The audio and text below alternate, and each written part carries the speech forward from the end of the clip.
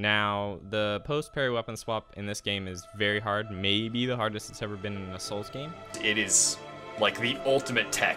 My only advice here is have godlike fingers. There it is.